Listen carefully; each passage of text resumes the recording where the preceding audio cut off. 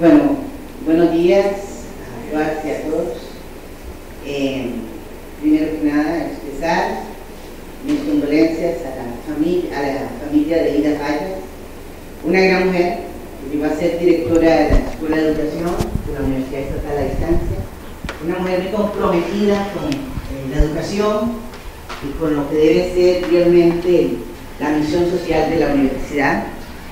Una mujer que siempre se caracterizó por la mejora continua de su escuela y establecer los lazos eh, de comunicación para que los estudiantes eh, de la universidad eh, contaran con servicios en una manera oportuna.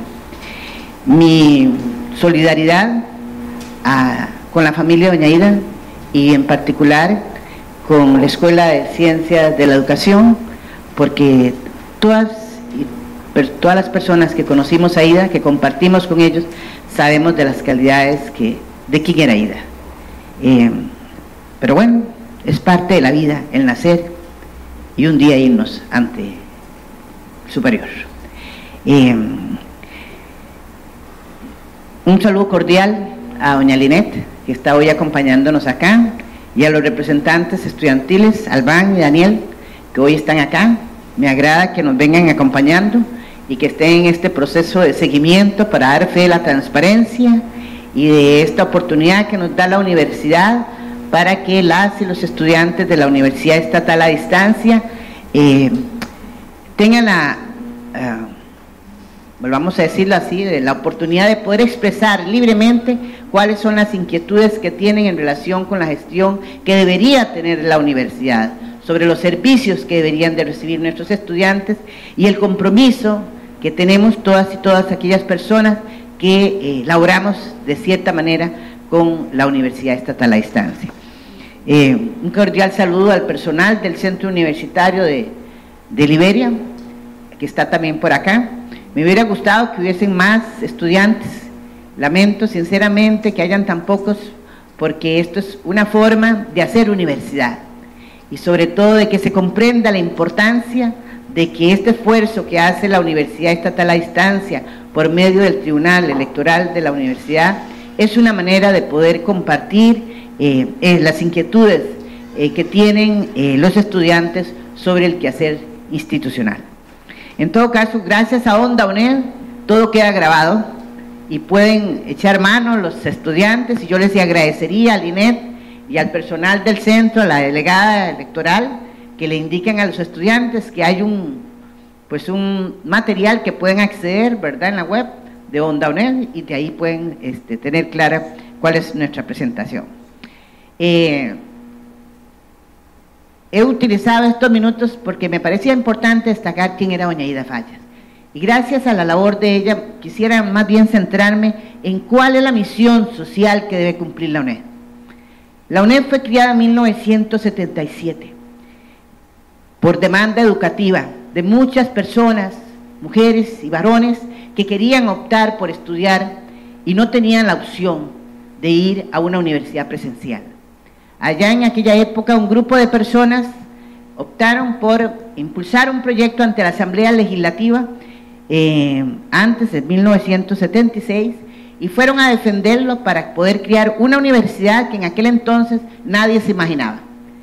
Su misión siempre será, y así lo dice la ley, preferentemente atender a aquellas poblaciones que por alguna razón geográfica o de familiar o personal o de cualquier índole no puedan acceder a la educación presencial universitaria. Le asignaron una noble misión a esta institución y es llegarle a las poblaciones más vulnerables de todo el país.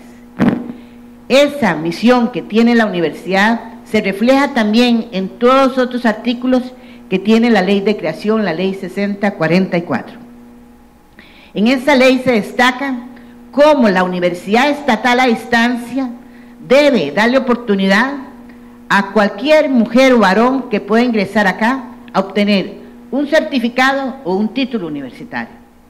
Puede optar por un técnico que no necesariamente requiere haber concluido la enseñanza secundaria o puede optar por un grado académico, si es lo que desea, y para eso se solicita el, requisito de haber concluido la enseñanza secundaria. ¿Por qué digo todo esto? Porque el eje principal de mi plan de trabajo es precisamente la persona. Y en eso es cuando ustedes tienen oportunidad de leer el brochure que les entregué, y ahí ustedes podrán notar que no hay universidad si no se atiende a los estudiantes con la forma en que realmente le, demanda la misma ley.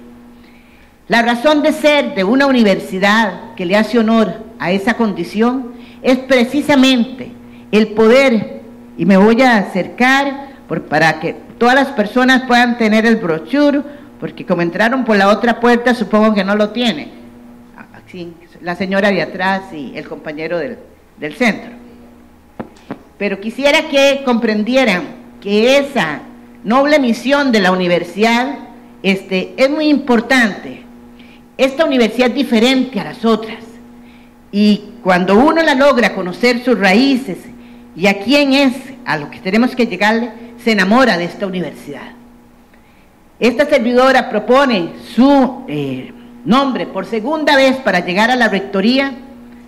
Hace, lo hice hace cinco años, precisamente por su trayectoria de 31 años de ser tutora de la UNED. Nosotros veníamos a dar tutorías, siempre en matemáticas, yo soy de matemáticas, siempre defendimos que los estudiantes más alejados son los que tienen que tener prioridad.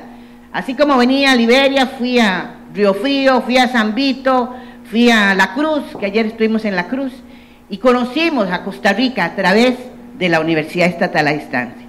Esa es la razón de ser de la universidad, fundamentada en tres actividades sustantivas, la docencia, que es la oferta académica, la investigación, que es la generación de conocimiento, y la extensión o acción social, como se le llama, que es el motor para poder llegar también a ciertas poblaciones que requieren de la universidad. Quisiera nada más destacar que los otros seis restantes ejes son el sistema de gestión académica, la universidad y sociedad, la internacionalización y la cooperación, el desarrollo del talento humano y su relación con la gestión, y al final el eje 6 es como quisieran que esta servidora fuera la UNED en el 2019. Quiero decirles que mi gran aspiración Ah, porque alguien podría decir, señora, ¿por qué tanto insiste usted en quedar en la UNED como rectora? Es porque conozco la política, he dado mi vida por esta universidad, la llevo en la sangre. Y me enamoré de la trayectoria de esta universidad cuando tuve la oportunidad de mirar la cruda realidad que viven muchas poblaciones y que hoy la universidad debe cambiar su gestión porque está concentrada en el Gran GAM. Su oferta de atención a los estudiantes está de Cartago a Palmares, mientras que los estudiantes de las zonas alejadas no se les está brindando los servicios. Bueno, esta servidora lo que quiere es que vuelva a las raíces, no es el pasado, porque hay cosas buenas del pasado que hay que rescatar y dejar de lado ciertas situaciones, como que la tecnología es la solución a todo. No, no es así. Es un elemento muy poderoso y debemos contribuir a reducir la brecha digital. Pero lo más importante, lo más relevante de una universidad como es la misión social de la UNED es cumplir con los estudiantes. Es darle los servicios académicos de vida estudiantil y administrativos que requieren para que puedan salir adelante, mejorar su calidad de vida y la de sus familias. Y en ese sentido, pues quisiera que ustedes lo tuvieran presente yo quisiera una universidad donde diga la universidad estatal a distancia es reconocida en el contexto nacional, pero la defienden con cariño las zonas más vulnerables de este país. Ahora cuando vengan las preguntas, cualquier que me hagan, cualquiera que quieran hacerme, con gusto la contesto. Muchísimas gracias. Bueno, como dicen que tengo dos minutos. Ah, bueno, ¿cómo? Bueno, no importa, doña Rosa, en todo caso quiero decirles que con muchísimo gusto yo corto acá y en las preguntas haré cualquier aclaración.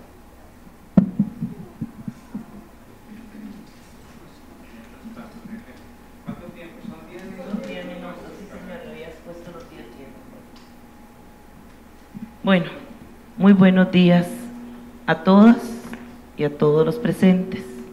Doña Marlene, un saludo muy cordial compañeros estudiantes, bienvenidos a esta charla, a este conversatorio que vamos a tener hoy.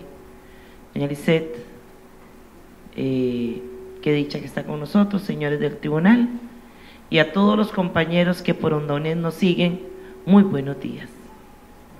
Hoy es un día donde se mezclan una serie de emociones.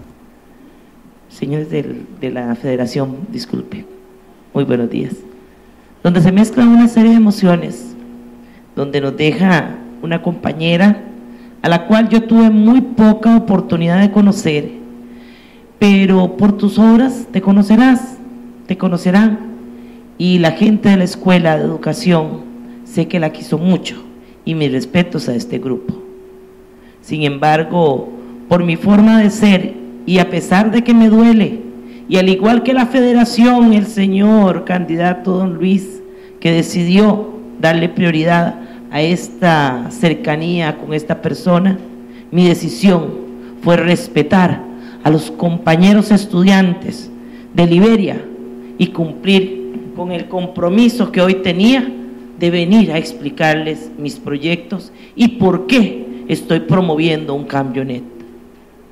Ese cambio net lo estoy promoviendo por estos pequeños detalles, porque sí, duele mucho, duele mucho la partida de un ser querido, pero ante los compromisos es más importante cumplir con nuestros compromisos.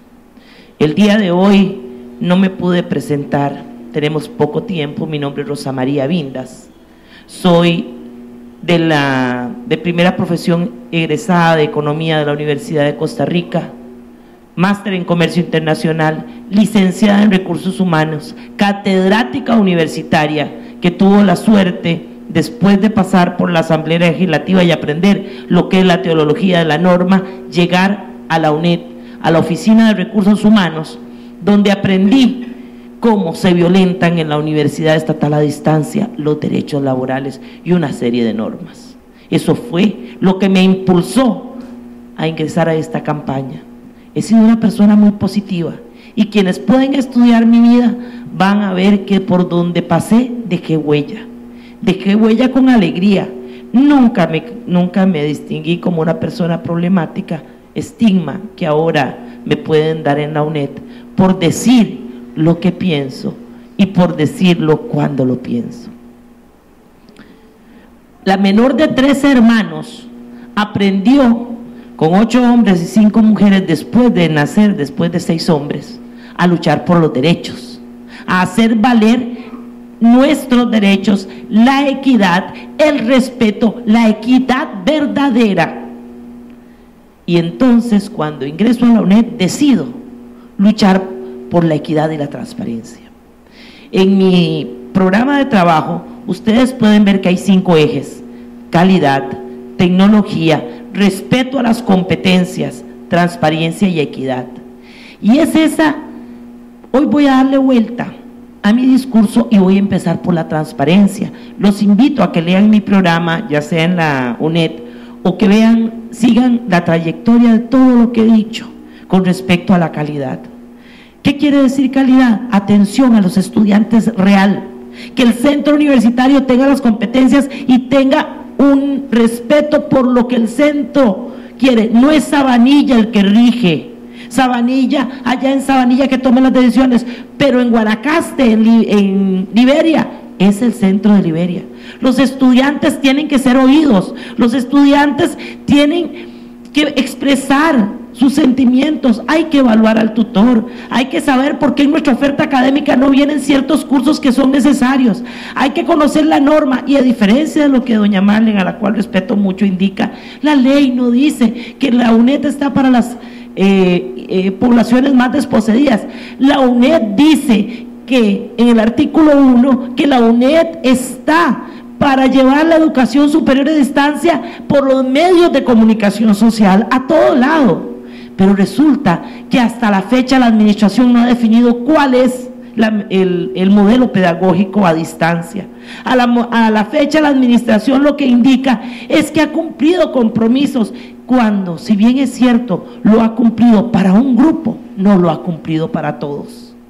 a esa gente a la que la administración le ha cumplido y la ha oído, yo le entiendo, ellos no necesitan un cambio, pero a mí me enseñaron que por equidad a todos hay que darles por igual. No puede ser que en los centros universitarios los estudiantes se sientan solos.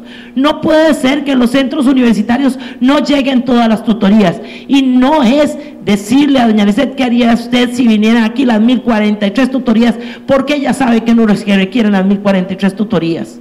Que se vengan acá las que ella requiere, pero igual que se hace acá, que se haga en todos los centros y que si necesitamos secretariados, si necesitamos cursos de matemáticas, si necesitamos concluir el programa de bibliotecología, por ejemplo, que sea el centro y que lo pida y que la cátedra cumpla.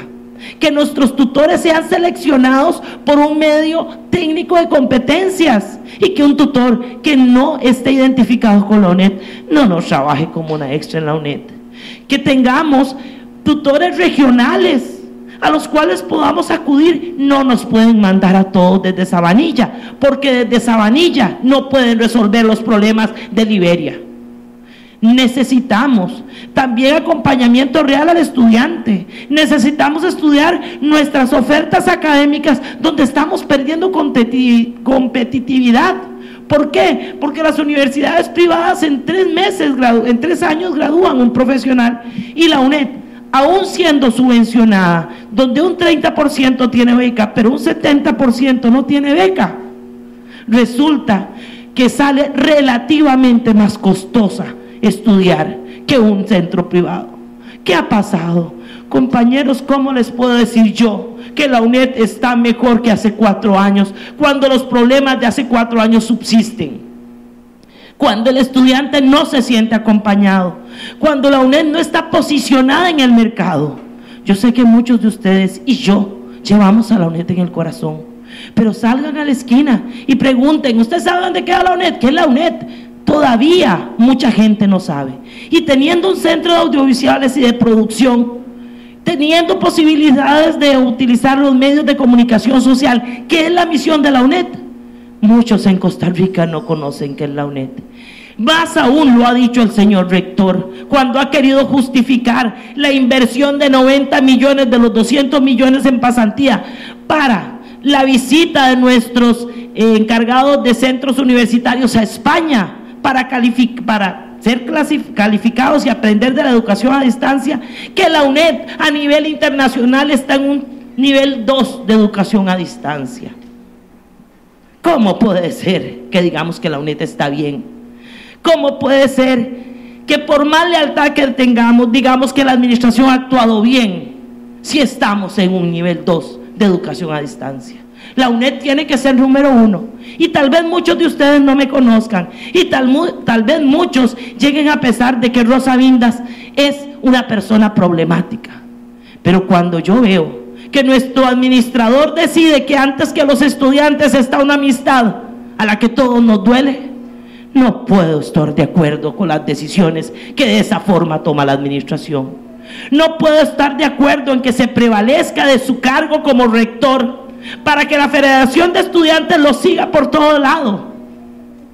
Está bien, qué dicha, nos acompañan, pero nos sacan a los funcionarios, a los estudiantes de la federación en ciertos momentos para reunirnos precisamente en las épocas que el tribunal ha decidido convocarlos. Y después, prevaleciéndose de su cargo, se reúne después con los estudiantes una vez que vio el esfuerzo que hicimos los candidatos para llegar a determinar las necesidades del área. No de justo Luis Guillermo Carpio. Eso no se hace. Y lo tengo que decir porque es real. El último minuto quiero aprovecharlo para felicitar a los luchadores como yo, don Luis Paulino, doña Lisette. Felicidades.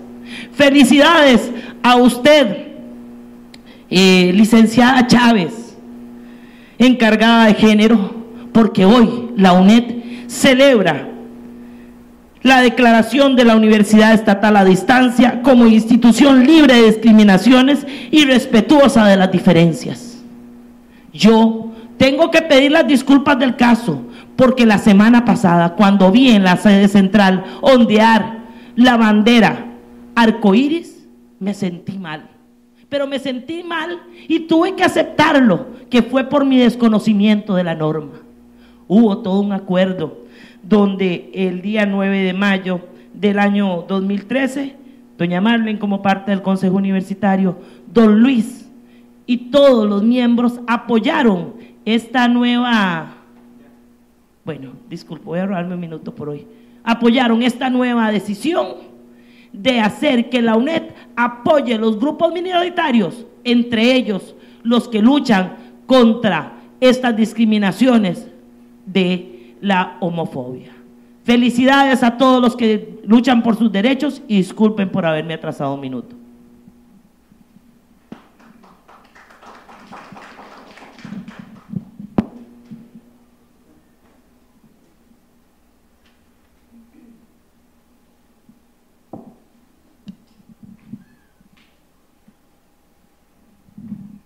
Bueno, ahora este, vamos a tener un espacio de preguntas y consultas o comentarios que ustedes deseen plantearle a las señoras candidatas. Este, las señoras candidatas van a ir anotando ahí las, las preguntas y este, eh, bueno, quisiéramos eh, conocer sus opiniones y que ustedes también pues les planteen esas consultas a las personas candidatas para que ellas se lleven también esas inquietudes y entonces puedan de alguna manera resolverles a ustedes estos problemas, ¿verdad? Entonces me gustaría...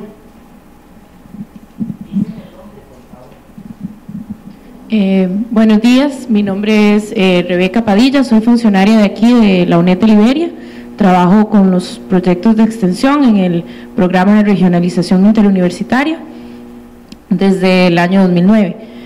Y quisiera, me interesan dos áreas, saber las acciones, si ustedes pues quedaran como rectoras, saber las acciones que tendrían en dos áreas específicas y sí les agradecería pues respuestas bien concretas en cuanto a eso. Em, en cuanto al estudio de investigación de, de género de la UNED, me gustaría saber cómo lo fortalecería o más bien cuál es su posición hacia este, este instituto y también me gustaría saber cuál es su posición hacia eh, los proyectos de extensión y de regionalización de la universidad. ¿Algún, ¿Alguien más? Les recuerdo que esta es una oportunidad para conversar frente a frente con las candidatas. Muy buenos días a todos y a todas. Mi nombre es Linet Camacho, funcionaria de Liberia. Eh, revisando los planes de trabajo de cada una de ustedes, eh, no veo eh, tal vez con mayor detalle cuál es la posición, ¿verdad?, de ustedes si quedaran como rectora para desarrollar lo que es la educación no universitaria, en este caso el CONET. Me interesa porque nosotros tenemos el CONET y este ha sido una oportunidad para que muchas personas adultas puedan lograr tener su noveno o su bachillerato y puedan eh, tener una mejor calidad de vida, ¿verdad? Entonces, no veo dentro del plan de trabajo eh, una propuesta que pueda promover un proyecto como CONET o que pueda sustituir un proyecto como CONET. Segundo, tampoco dentro del plan de trabajo no visualizo bien la parte de extensión e investigación regional. Eh, con fondos CONARE tuvimos oportunidad, muchos centros, de poder desarrollar muchas habilidades en la parte de extensión y por lo tanto de investigación, porque siempre se hace un poquito aunque sea de investigación. Entonces, no veo una política, ¿verdad?, como clara o dentro del plan de trabajo, ese, ese trabajo que podría hacer ustedes como rectoras, como futuras rectoras, en la parte de desarrollo regional. Los centros tienen que ir visualizándose como, como eh, instituciones que puedan desarrollar mucho trabajo con la comunidad, con la sociedad, sociedad civil y con otras instituciones. Y yo creo que la parte de extensión e investigación viene a fortalecer, además de que actualizar conocimiento, ¿verdad?, para las escuelas y, no veo, digamos, dentro del plan claro ese, eh, esa parte, ¿verdad? Entonces me gustaría saber qué piensan ustedes, cómo lo trabajarían si quedaran como rectores.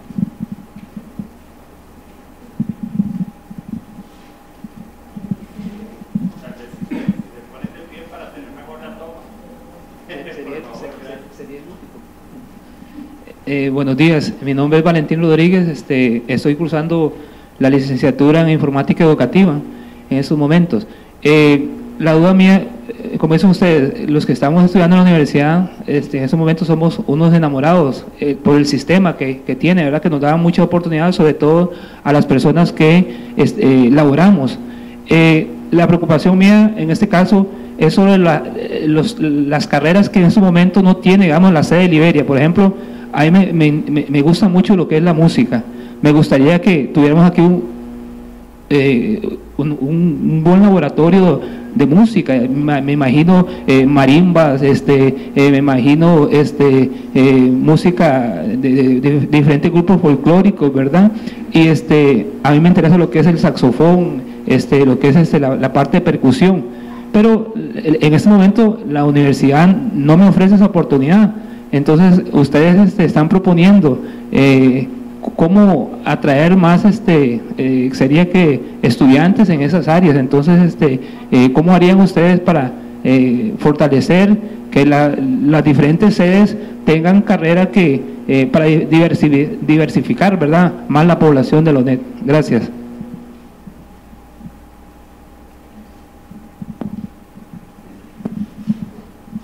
Buenos días, mi nombre es Emilia, estudiante del CEU de Liberia. Eh, mis inquietudes son las siguientes. Hablan de calidad y mejoramiento, ¿verdad?, de, la educación. Eh, yo quisiera saber cómo van a hacer ustedes o cuáles son sus propuestas para el acompañamiento al estudiante, ¿verdad? Y cómo van a mejorar, por ejemplo, la tecnología de la que usted habla, doña Rosa, ¿verdad? Eh, porque, por ejemplo, aquí tenemos este, muchos problemas eh, las personas que vivimos lejos no tenemos acceso muchas veces a internet o tal vez a internet, a computadoras, entonces ahora todo se, se trabaja con plataformas. También a veces nos exigen eh, asistir a tutorías. Honestamente, de mi parte, lo único por lo que yo he sentido que la universidad es a distancia es por los viajes hasta San José, lo más cerca hasta Cañas, ¿verdad? Para asistir a una tutoría. Entonces, yo quisiera saber cómo se va a fortalecer eso y cómo nos van a ayudar. Gracias.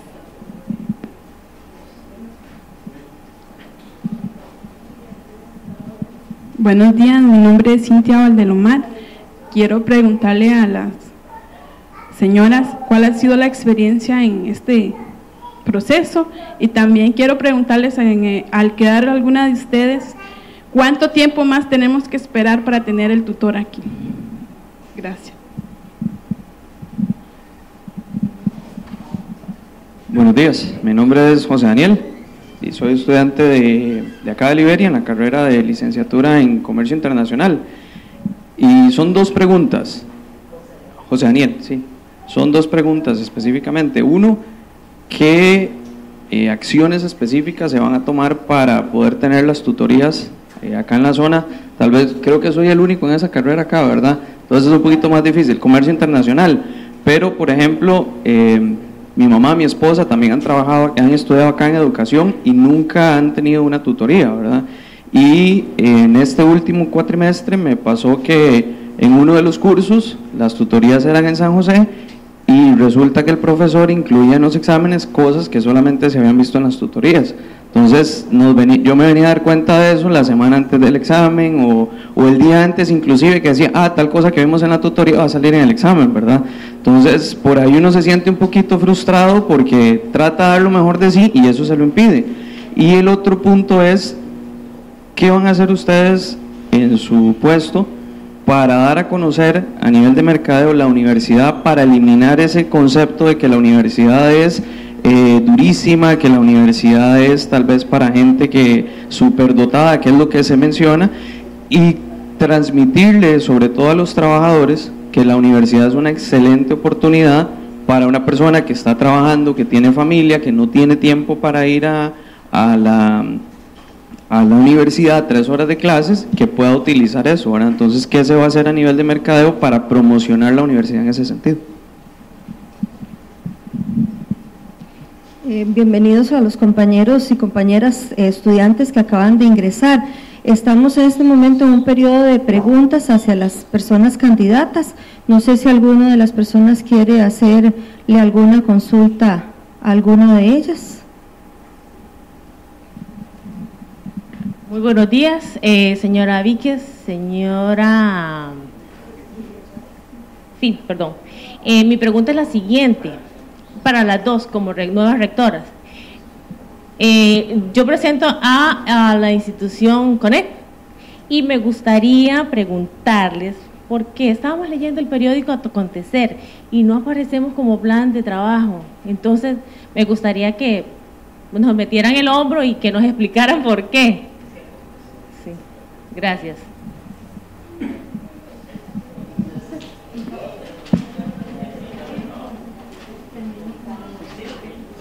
Sí, buenos días. Mi nombre es Luis Esteban Madrigal, trabajo en el Liceo Liberia. Mi pregunta es para, para ambas. Eh, estoy a cargo de atender Luis Esteban Madrigal, a los privados de libertad, aquí en el CAI. Mi pregunta es, ¿cuáles son las acciones o qué implementarían ustedes para atender a esos estudiantes para que culminen sus carreras? En este momento tenemos dos casos de estudiantes que estudian la gestión turística sostenible y no se pueden graduar porque hay como dos cursos que ocupan plataforma virtual. Al ellos estar ahí en centro penal, no pueden cursar sus cursos. Y si la pena es de 5 o 10 años, entonces pasarían hasta 10 años para obtener su certificado. Entonces, ¿cómo podría en ese caso ustedes atender a esa población? Gracias.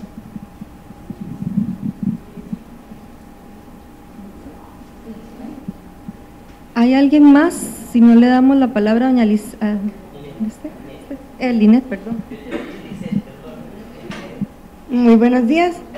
Bueno, igual yo represento de CONET, estoy ya en quinto año, igual la pregunta para ustedes. Igual leyendo aquí ustedes, Jessica, ustedes se enfocan igual en solo la universidad, pero no ven que para llegar a eso, ni seríamos nosotros como tal vez la parte más importante, porque para llegar a, sus propuestas o todo el fortalecimiento que le hacen a la UNED, deberían también pensar en nosotros porque para nosotros ir viendo las oportunidades que tenemos. igual, digamos, yo ya, si Dios quiere, este año salgo, pero vienen las generaciones atrás, entonces igual necesitan como ver este, propuestas. Y todo es la universidad, la universidad, y nosotros no están, porque algunos somos madres de familia, otros, este, de ahí, tal vez por la edad también, que no podemos, ya que somos como la parte casi, la UNED, el CONED la parte única porque nosotros mayores de edad no en todos lados podemos estudiar. Solamente. Gracias. Linet de Liberia. Este, se me olvidó preguntar ahora que eh, hay un acuerdo muy importante que es el 2021, ¿verdad? Y bueno, donde doña Marlen también ha trabajado bastante por, por ese acuerdo, que son los procesos de desconcentración eh, administrativa o el proceso de desconcentración que debería dar la universidad a nivel nacional también. Entonces, me interesa saber eh, cuál ha sido el papel de ustedes, digamos, ya para la ejecución de este, de este acuerdo. Eh, actualmente hay unas comisiones que están trabajando, ¿verdad?, para la ejecución de este acuerdo. Y, y, y si ustedes quedaran como rectora, a mí me gustaría saber cuál sería su participación o impulsión, ¿verdad?, para nosotros por fin lograr, ¿verdad?, eh, aplicar este acuerdo y, algo muy importante es la participación, la participación de los diferentes centros en este proceso. Gracias. Muchas gracias a todas las personas que hicieron sus consultas. Ahora tenemos un periodo para que las personas candidatas nos den su respuesta de ocho minutos para cada una, iniciando con doña Rosa María. Bueno, muchas gracias por todas las consultas voy, no voy a iniciar por el principio. Voy a aclararles que el periódico, periódico Acontecer es un periódico de la administración. Entonces, obviamente, en Acontecer saldrá lo que la administración apoye. Porque a pesar de que se había prometido un medio de difusión y de comunicación abierto para sustituir al Pasquín Patonet, nunca se dio. Entonces, por eso no tenemos un medio de comunicación donde podamos comentar realmente lo que hemos dicho. Yo los invito, sinceramente, a leer mi plan de trabajo, pero a leer mi plan de trabajo, no lo que dicen de mi plan de trabajo. En mi plan de trabajo yo tengo como punto número uno autonomía universitaria y normativa. Si alguien me ha seguido, sabe que soy estricta con la norma y más aún me dicen doña Norma. ¿Por qué? Porque aprendí a manejar la norma. Y aunque no tengo la experiencia, doña Marley, ni, perdón, no solo la experiencia, la respeto porque es una persona estudiosa. Y no tengo ni el apoyo de don Luis Guillermo como persona, ni tengo la experiencia que a lo largo de sus puestos le han, le han dado los mismos. Resumo en mis investigaciones y en mis conocimientos lo positivo de los dos.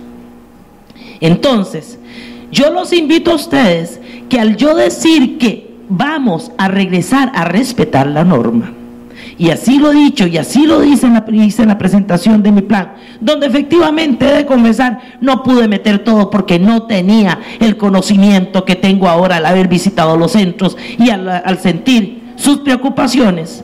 En alguno de los momentos, y a la compañera que hizo, alguna de las que hizo las preguntas del CONET específicamente a la niña, ya le voy a decir, Jessica, les voy a decir, así como el artículo 1 de la ley de creación de la UNED indica de que somos una universidad para estudiar, para enseñar a través de los medios de comunicación social, número uno, la radio, también indica en su artículo 5 que la UNED no tiene barreras, la UNED no es solo universidad. En el artículo 5, el CONET existe, no lo hemos eliminado y el, el CONET sigue, que el MEP consideró que no nos va a dar los recursos para seguir. Eso es una decisión política interna y administrativa. No nos tiene que venir a decir el Ministerio de Educación si la UNED va a hacer respetar el artículo 5 o no. De mi parte, les prometo que de ser la rectora, el CONET se mantiene, y así lo he dicho, ¿basado en qué? Basado en el artículo 5 de la ley de creación de la UNED.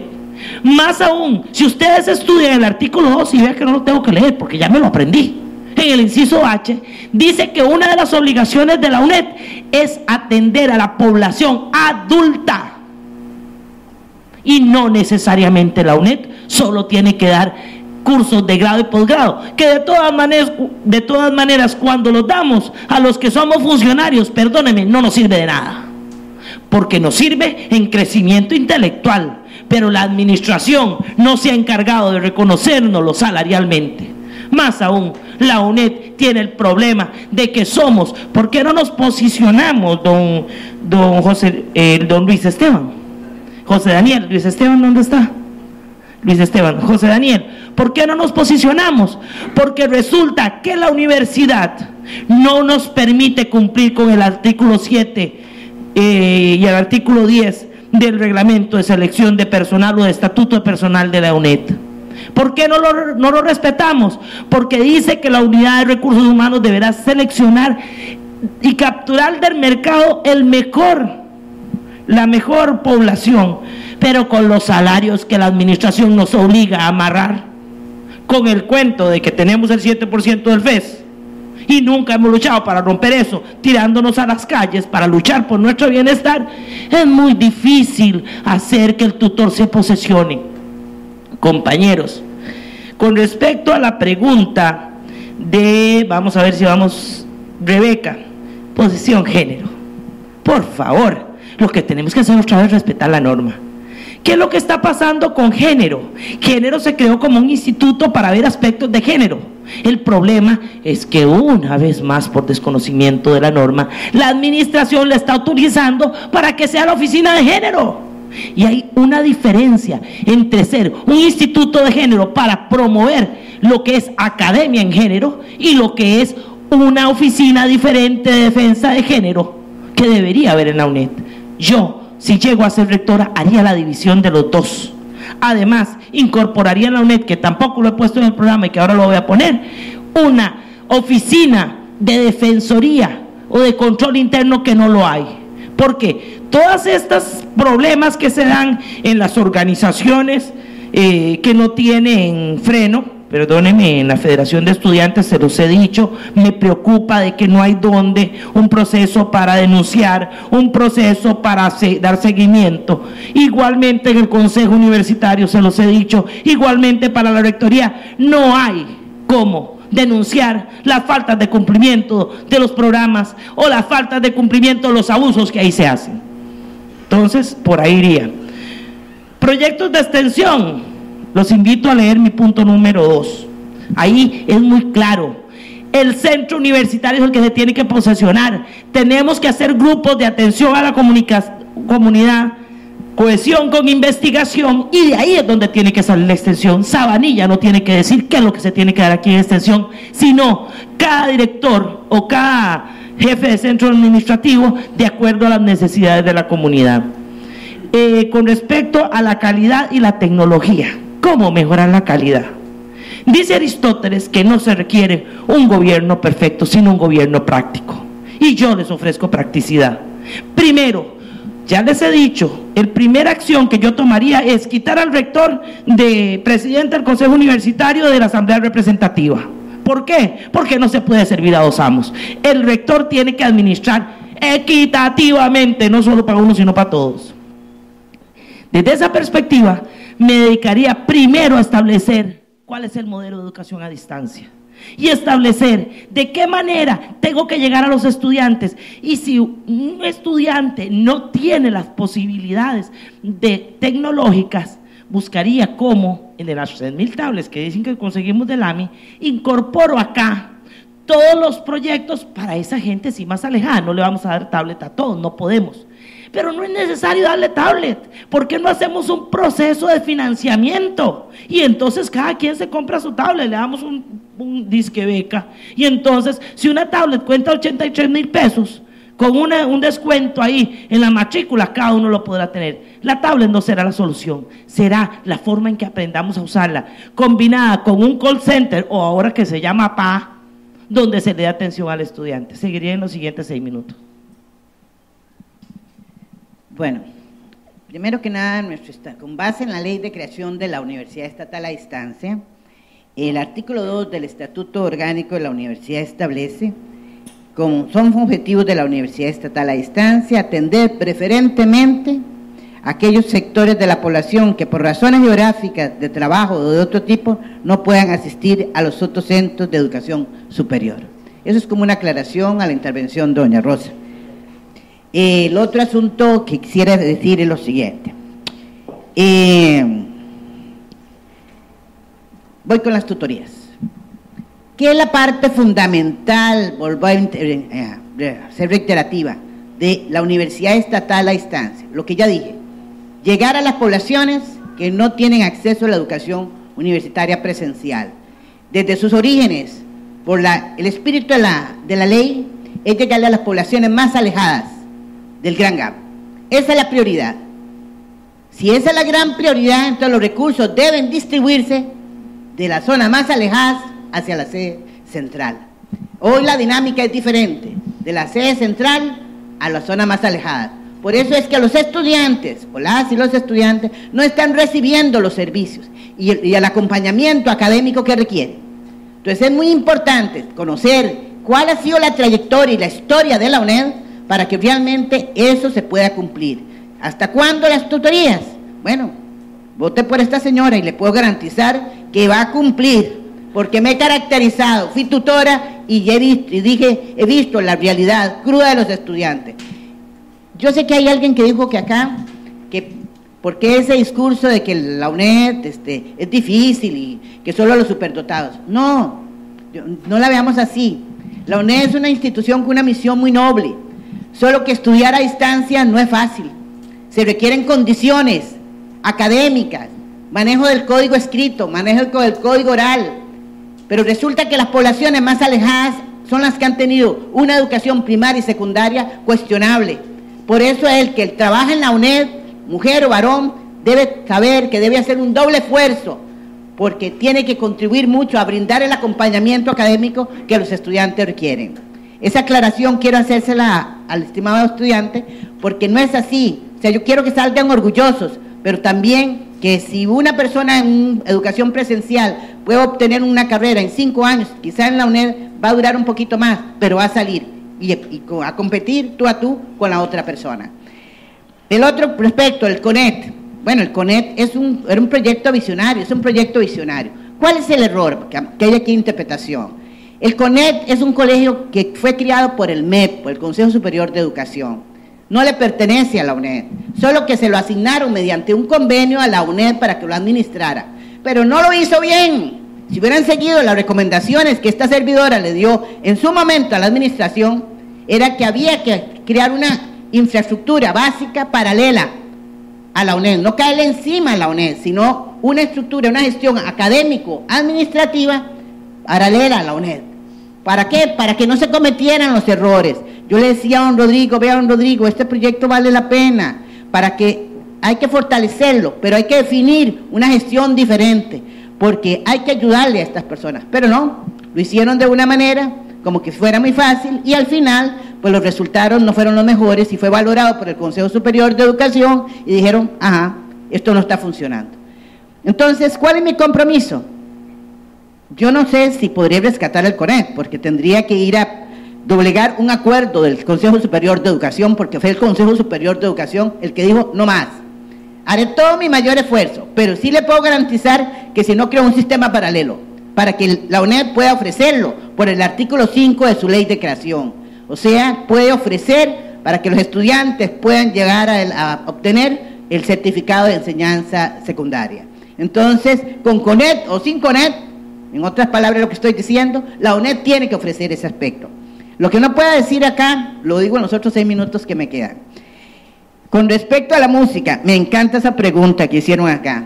Yo, todos mis hijos son músicos, a pesar que hay unos que son ingenieros, otros que son antropólogos, eh, empresarios, o que sea.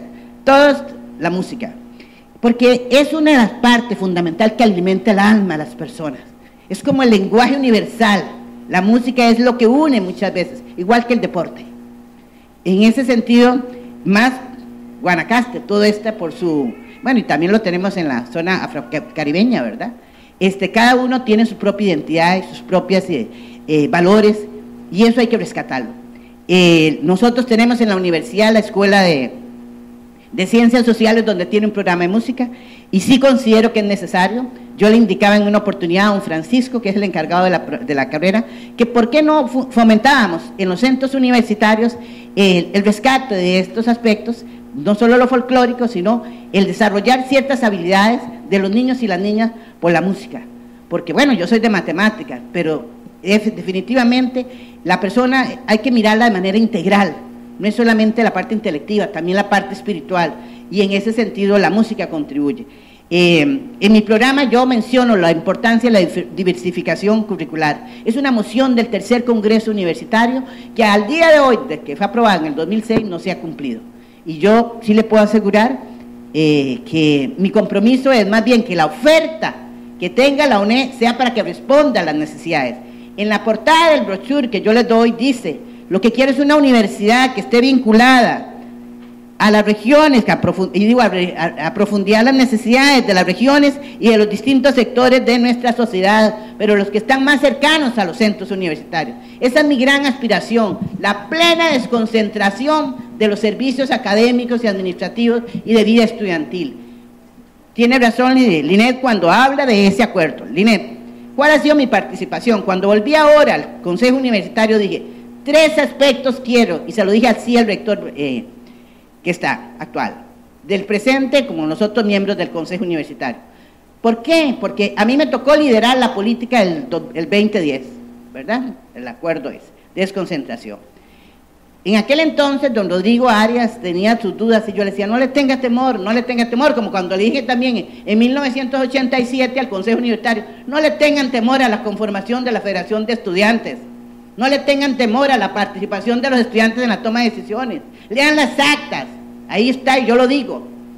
Bueno, había que hacer este proceso. ¿Que hay resistencia al cambio? Sí, yo lo sé.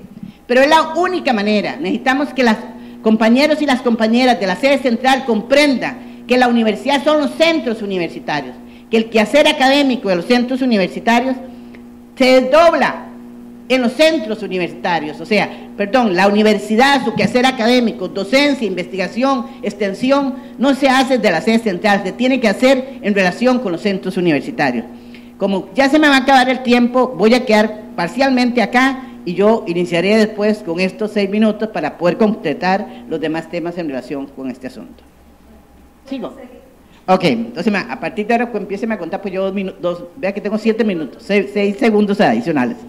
Ok, Linet, ¿qué he hecho? Va a decir doña Marlen por eso. Bueno, además de que aquí está la política, aunque sea en papel, le dije al señor rector, tres cosas quiero. La transformación de la Oficina de Recursos Humanos. Una oficina de recursos humanos que se ponga un clavelito en el ojal y que las personas tengan confianza, que se les valora por sus calidades académicas, por sus atestados, pero no por clientelismo político ni por nada más. Segundo, quiero que realmente la universidad cuente con una vicerrectoría de planificación que planifique, porque aquí las cosas no se planifican. Y se repartimos, yo le llamo los chumicos, ¿verdad? Los dinero, de una manera como con muy buena intención, pero realmente no calzan ni los objetivos con la repartición de los chumicos. Al final se gastan los chumicos, pero no sabemos si todos los objetivos se lograron. Y tercero, que sea una realidad la plena desconcentración de los centros universitarios. Este acuerdo del año 2010, que fue escrito por esta servidora porque me tocó, dice con claridad que, debe haber un plan de acción que debe haber un plan de desconcentración de centros universitarios, que debe, acá en marzo de cada año, debe darse un informe al Consejo Universitario para ver de qué manera se van conciliando la, situación de manera conjunta. Pero nada de eso hacen. Se van en comisioncitas y comisioncitas van, comisioncitas para acá, para allá, pero no quieren tomar decisiones. Y ese es el problema, Linet. Hay un doble discurso, perdóneme, pero hay un doble discurso. Al final no quieren tomar decisiones. Yo sí las quiero tomar. Ya Dios no me da tanta vida. Y eso se los puedo asegurar. Pero he dado mi vida a esta universidad. Ya si esta oportunidad no puedo llegar a la rectoría, que es mi gran aspiración, porque no he sido ni jefe, ni directora, ni vicerrectora, nada. Nada más la he luchado para llegar a los puestos de toma de decisiones más altos, para direccionar a la universidad por donde tiene que ir. Lo acepto con la mayor naturalidad. Pero les puedo asegurar que si esta servidora llega el acuerdo de marzo del 2010 se llega a cumplir. ¿Por qué? Porque esa es la UNED, la universidad que debe detenerse. Vamos a ver, hoy se defienden como que la universidad es la tecnología, de que la segunda, que la tercera, que la cuarta, que la quinta generación. Por Dios, todos tienen un bendito teléfono móvil. La UNED no es una tecnología, no son las paredes, son las personas. La tecnología cambia. Lo que hoy es novedoso, mañana ya caduca. Por Dios, no confundamos eso. La educación a distancia hay muchas maneras de darla. ¿Cómo la dábamos hace 37 años? Veníamos aquí a dar tutorías. Siempre las dimos. ¿Por qué ahora no se dan? Porque tenemos poco presupuesto. ¿Qué es la excusa que dan? Pues hace 37 años teníamos menos. Lo que pasa es que no hay voluntad. ¿Me explico? Al final hay un doble discurso. Quieren llegar con la tecnología, pero bueno, ya yo me doy cuenta, llegan con la tecnología y los pobres estudiantes no tienen acceso a la tecnología, no tienen conectividad. No, es un instrumento muy poderoso, muy valioso y tenemos que contribuir a cerrar esa brecha digital. Pero pues, hagamos las cosas bien, hagamos las cosas bien eh, para que realmente nuestros estudiantes puedan cumplir. El rol de los centros en la parte de extensión. Vea, Linet, yo creo que si usted se lee, el, tal vez el brochure no sea tan específico, pero si se lee el plan que está en el blog, yo creo que a lo largo de todo lo que yo escribí, que no es una construcción personal, es lo que ha dicho las mociones del segundo congreso, del tercer congreso, los lineamientos de política institucional, 2001, 2006, 2011, 2007, 2011. Es una construcción, la UNED es la construcción de muchas personas. La UNED no se hizo en el año 2009, cada administración, cada vez que llega, llega diciendo que, que todo lo que, como que si recogieran una cosecha y a partir de ahora está mucho mejor. Yo no la miro así, porque he estado en todo el proceso, la observo y digo, Dios mío, ¿qué está pasando? La UNED no nació así. Entonces, para mí hay que fortalecer los proyectos de las CRI. Para mí lo que logró don Rodrigo Arias, al César lo que es del César, el fondo de, la educación superior, el fondo del sistema, para apoyar las CRI, lo hizo y con eso desarrollaron, decimos, músculo, muchos compañeros y compañeras para poder hacer proyectos. Y hay que reconocer eso. Si no hubiéramos tenido esos fondos del sistema, la universidad jamás hubiera podido hacer proyectos de investigación y extensión. Pero al César lo que es del César. Sé que la administración actual le da unos recursos a las administradoras y administradores para poder eh, desarrollar alguna gestión interna, pero eso no es suficiente. Lo que necesitamos es la autonomía de gestión, avanzar. Yo no pretendo hacer muchas cosas en cinco años, pero sí hacer un cambio de cultura en la gestión. O nos vamos hacia los centros, o trabajamos por los centros, y trabajamos por los estudiantes, o la UNED va a ser elitista. Se va a convertir en una universidad para unos pocos. Y eso es lo que yo no quisiera que pasara. La otra pregunta que me hacían era con respecto a ver si me queda alguna. Eh, lo, no, lo de calidad del acompañamiento, yo creo que lo de las tutorías ya lo resolví. Eh, lo que sí le puedo decir es esto. Yo quisiera que los centros universitarios se constituyan realmente generadores de pensamiento en espacios académicos. Y, en ese sentido es ahí donde deben nacer los proyectos de investigación, de extensión y de docencia. Son los centros los que deberían de poner las reglas, pero no para mandar, para sentirse poderosos, sino porque es ahí donde la universidad se desdobla y es ahí donde nosotros brindamos nuestros servicios académicos. Con esto concluyo y cualquier duda, ahí tiene mi blog y me puede mandar consulta. Muchas gracias. Bueno, como lo dije y lo mantengo, las buenas ideas de mis compañeros en mi administración las aplicaré. Pura vida. Voy a tratar de ser concreta, correcta y exacta con las preguntas que me faltaron. Doña Linet, la desconcentración y la participación. No se puede liderar un proyecto de desconcentración si no participamos todos si todos los encargados de los centros, y no solo los encargados de los centros, el personal de los centros, con apoyo de estudiantes, no participan en ese proceso, no va a ser un proceso sentido propio. Por lo tanto, no podemos delimitar a la gente. ¿Cuál es uno de los mayores problemas de la UNED? La UNED tiene leyes y procesos muy buenos. Y dice el Congreso de Centros Universitarios, los congresos, pero al final la administración, por estar dispersa en una serie de cosas, no los ejecuta. Yo por eso he dicho, no creo en los congresos ahorita porque perdieron credibilidad. Y ahora legalmente muchos de los congresos y muchas de las ponencias que se debieron haber ejecutado no se pueden ejecutar porque ya perdieron eh, en el tiempo la efectividad. Entonces yo no voy a mentir a decir, voy a hacer cumplir todo lo que se dieron los congresos. Tendríamos que hacer una reunión para ver qué de eso hay que rescatar. Pero acuerdos como este, donde un grupo de pensadores definieron qué era lo que se necesitaba para los centros, que son la cara de la UNED, hay que ejecutarlos. Es que ni siquiera hay que cuestionárselos. Tenemos que luchar por eso. Con respecto a la calidad de la tecnología, Emilia le contesté, a Cintia, esa la voy a dejar de última, a José Daniel, acciones para tener aquí los tutores, decidirlo. Que sea doña Line la que diga, para el cuatrimestre siguiente hace un estudio previo y dice las tutorías que, que en prioridad se deben tener aquí son esta, esta, esta y esta. Si ella lo decide por un conocimiento propio, ella le dice a la cátedra, mándeme estas tutorías. Tenemos 400 plazas para tutores, que a cuarto de tiempo son 1.200 tutores. Pero ¿qué ha pasado? La administración no les ha dado propiedad.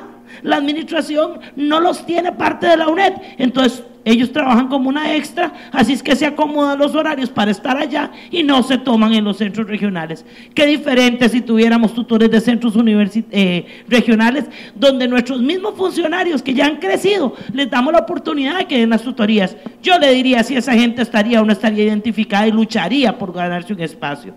Son decisiones, tomar decisiones y se tendrían aquí de inmediato con respecto a Luis Esteban. Luis Esteban, acciones para atender a, ese pobre compañero que la vida lo llevó a estar en esa situación tan difícil, que el encargado de cátedra se arrolle las mangas y que le venga a dar atención personalizada. Eso es una decisión. No hay que darle mucho pensamiento, es tomar una decisión. Llame usted a la cátedra, dígale, y si no, no, no necesito ser rectora, espero defender mis derechos laborales y regresar a ser jefe de recursos humanos, llámeme y yo hablo con el encargado de cátedra a ver si ese señor lo sacamos o no lo sacamos y no en, en un año, sino en un cuatrimestre. Por último, Cintia, le agradezco la pregunta que usted hace. ¿Cuál ha sido mi experiencia en este proceso electoral? Una, una, experiencia enriquecedora que me ha hecho estudiar en paleta, que me ha hecho llegar a respetar al tribunal electoral de esta institución porque por primera vez se ha arrollado las mangas y ha hecho lo que tiene que hacer. Ha sido una experiencia donde he aprendido a compartir con una señora con la que he tenido muchas diferencias, pero cada día la admiro más. Ha sido una experiencia donde por una situación que no quiero ni puedo explicarme, cada día me decepciono más del señor Luis Guillermo Carpio, que aprovechándose y prevaleciéndose de su cargo, no solo toma decisiones de no respetar a un grupo con el que se había comprometido, sino que aprovechándose de la posición de rector que tiene porque no quiso renunciar a su puesto, llama a nuestra asociación o federación de estudiantes para que nos acompañe y en una forma poco ética en todos los centros, se queda después reunido con los estudiantes y toma las decisiones y toma los acuerdos que nosotros sacamos, que sacamos de ustedes, que nos están aportando. Y empieza a dar soluciones adelantadas para resolver lo que en cinco años no resolvió. Es una decepción, es una falta de ética, don Luis Guillermo. Y no estoy diciendo nada que no sea cierto. No puede ser que después de que nosotros y el tribunal haya hecho todo su esfuerzo, él se aproveche. ¿Por qué? Porque no puede andar en el carro del Teunet porque seguro doña Marley y yo tenemos lepra. Y él no puede viajar con nosotros. Eso no es justo. Creo que todos tenemos un papel y como funcionarios, como estudiantes tenemos que respetar desde nuestra vestimenta, donde tenemos que vestirnos de acuerdo a el puesto en que estamos, hasta nuestra ética. No puede ser, él tiene dinero para andar su carro para arriba y para abajo. ¿Cómo no? Si él se resolvió su salario, su situación salarial y a todos los demás que estamos participando en esta actividad, nunca nos resolvió el salario. Lástima que a las personas que han trabajado duro, ahora se les cuestiona a los encargados de centros que los llevaron a una pasantía a España, porque haya tomado la decisión de mandarle la pasantía en este momento. 62 personas, dos miserables millones de colones que les dio y que ahora los cuestionen porque dio las pasantías en este momento. Son 62 votos y 90 porque también mandó a los directores. Y por último, no puede ser que asiento y resto de funcionarios en esta época les diera la dedicación exclusiva lo cual le favorece con su voto. Eso no se hace, don Luis Guillermo. Y señores de la federación, procuren no quitarnos la gente, ni hacerles privilegios, ni hacerle compadecencia de estudiantes en momentos como el 30 de mayo. Porque eso para eso son estos espacios. Muchas gracias.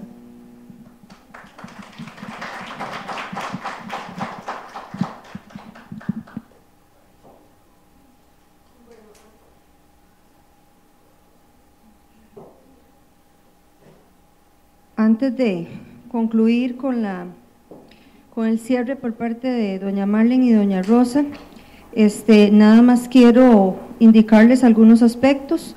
El empadronamiento estudiantil por medio del cuaderno aquí en el centro universitario es hasta mañana. Esto porque eh, las personas del centro nos tienen que enviar el cuaderno a el Tribunal Electoral allá en Sabanilla y nosotros tenemos que pasar esa información este, a, la, a, la, a la web. Y luego el del primero de, el primero de junio, perdón, es el tiempo para que lo hagan por medio de, de la web, por medio de la página de la universidad en el entorno de estudiantes. Y también eh, comunicarles que el jueves 22 de mayo es el debate que está organizando el Tribunal Electoral Universitario en conjunto con este, el programa de audiovisuales a las 9 y 30 M en el Paraninfo Danielo Duer en Sabanilla. También va a ser transmitido por Onda UNED, también va a ser transmitido por audiovisuales y por videoconferencia para que ustedes entonces estén atentos a ese debate. Le doy entonces ahora los dos minutos de cierre y este, les pido puntualidad en ese cierre, por favor a la señora Rosa María Vindas. Buenas. Muchas gracias, compañeros, por la atención brindada. Les pido, si he sido muy enfática hoy y alguien se sintió mal por lo que he dicho, tengo las pruebas del caso. Con mucho gusto, fuera de estos escenarios, daré. Solo me faltó una pregunta, una pregunta muy positiva que me faltó de resolver, ¿cómo mercadear a la universidad? Es tan fácil mercadear a la UNED. Tenemos 14 carreras acreditadas, no en San José, sino en todo el país.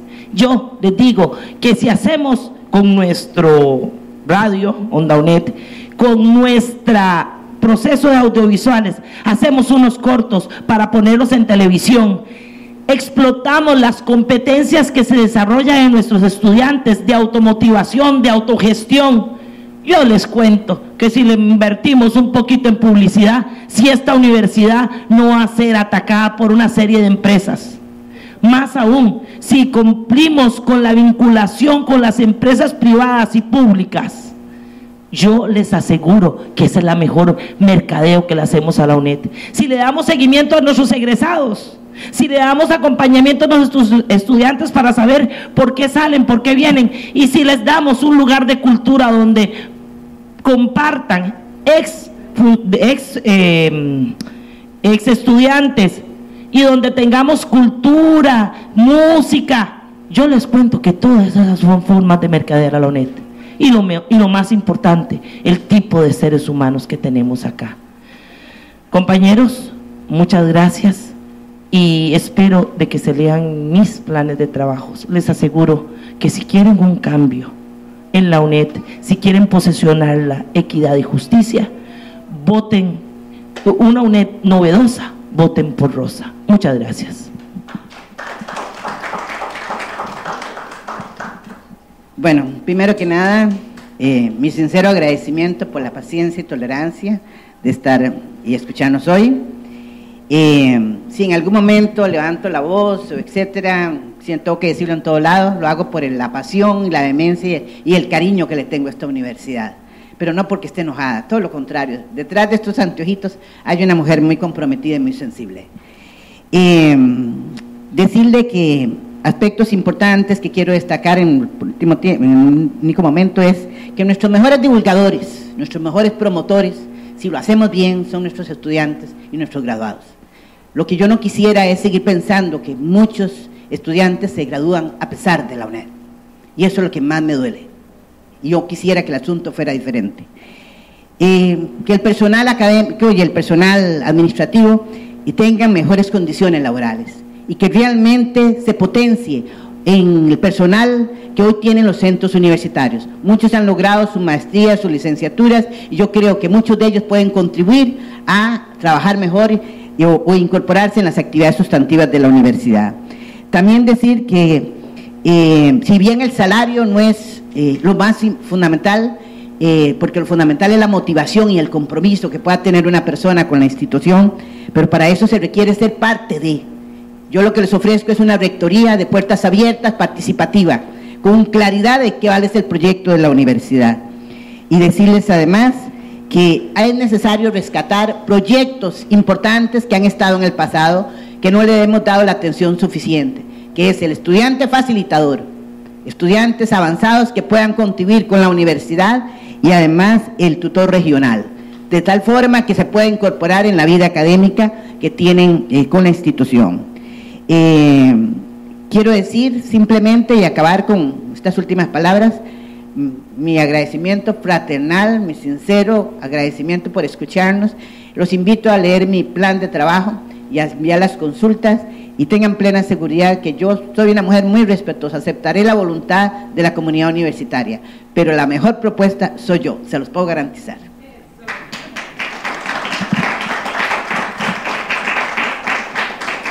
Bueno, como les indicó doña Marlene, los planes de trabajo de cada una de las personas candidatas, tanto de estas señoras que se encuentran hoy acá como de don Luis Guillermo Carpio, se encuentran en el, este, en, en la página del tribunal, hay un link donde viene eh, Tribunal Electoral, proceso de rectoría, ahí los pueden ustedes encontrar, los pueden bajar. Este, agradecerles mucho la asistencia a las personas que se encuentran acá por cuestiones de protocolo y por eh, la actividad que ya además pues está un poquitito pasada. eh, yo voy a cerrar acá, les, voy a- les agradezco a ustedes y les agradezco a las personas candidatas la participación y ahorita entonces nosotros este, vamos a cerrar y les agradezco mucho, mucho esto. ¿Cerraste ya? Ok, vean, por cuestiones,